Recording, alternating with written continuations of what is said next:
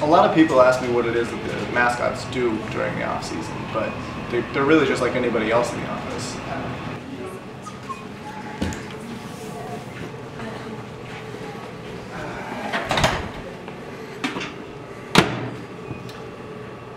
Casey? No. No, no, don't do it, Casey. No, don't, no, don't do that. No. Casey,